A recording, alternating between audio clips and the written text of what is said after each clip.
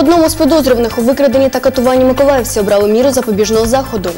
У Миколаєві відбувся 12-годинний марафон Айкідо. Доброго ранку в ефірі телевізійні новини Миколаївщини. В студії для вас працює Світлана Кльосова. Протягом прямого ефіру на екранах ви бачитимете нашу електронну адресу, за якою зможете звертатись до редакції, а також посилання на наш ютуб канал та сторінку мережі Facebook.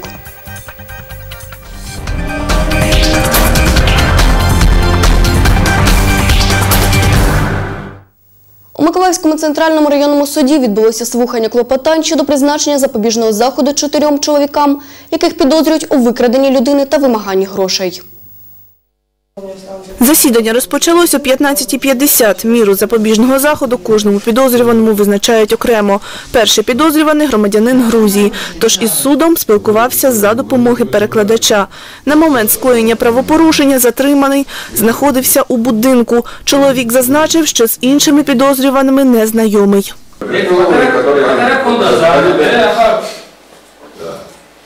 Чи Равница мы видели, мы не дали дала. Я обращал внимание, я первый раз видел этих людей вообще. Первый раз видел, это.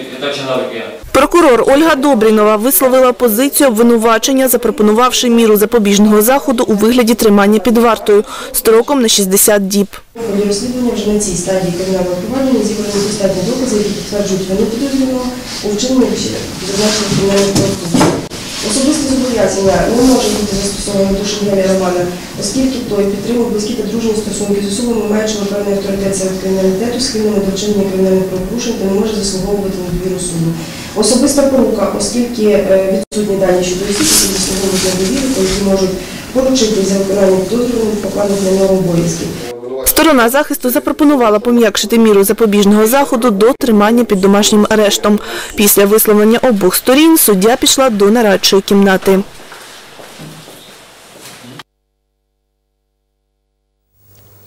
Одному з підозрюваних винесли міру запобіжного заходу два місяці тримання під вартою без права внесення застави.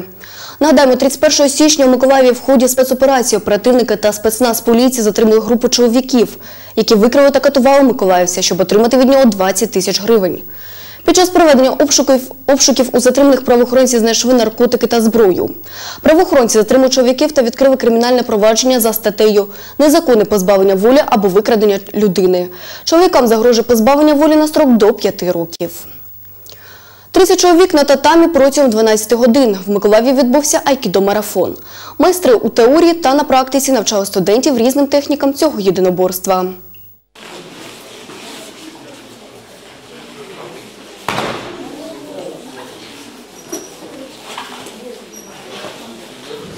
Айкідо-марафон тривав у Миколаєві в четверте. Проводять його майстри з різних міст України. Тривалість 12 годин.